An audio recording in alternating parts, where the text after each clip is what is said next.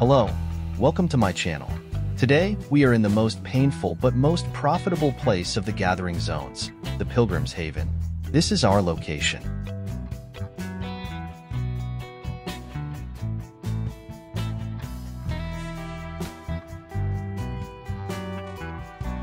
Now let's get our buffs on and let's get started.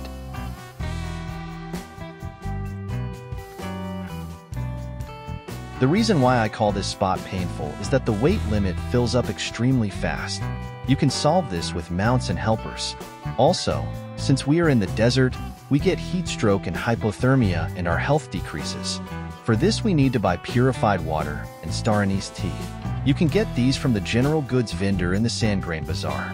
Now in this video, I must say in advance that our earnings will be low at the end of one hour.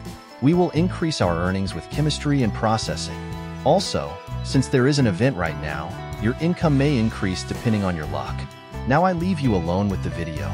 Let's see how much material we gathered at the end of one hour.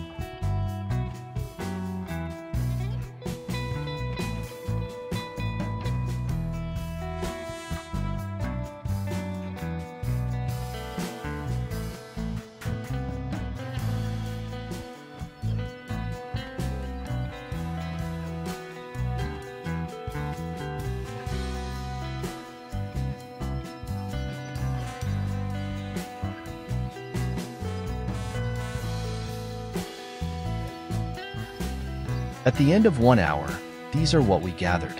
Now let's make the trades. We trade rough lustrous gems with the jeweler. We need 200 amity for this. Then we start processing.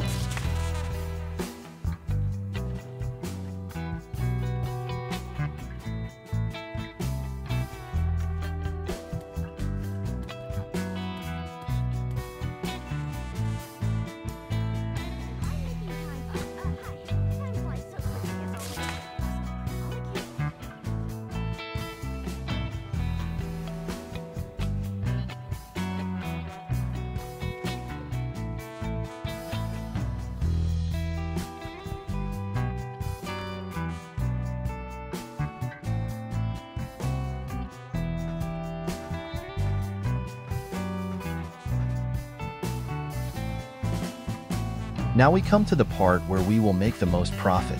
We will produce metal solvent with rough stones. The most important material we need for this is trace of savagery. We can only get it from nodes, and the amount of it is not very high. For this reason, you can get it from the central market. I will produce as much as I have. The amount of your earnings may vary depending on whether you have more or less. We do the rest of our processing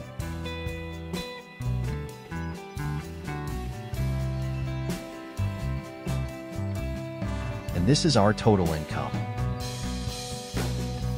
Bonus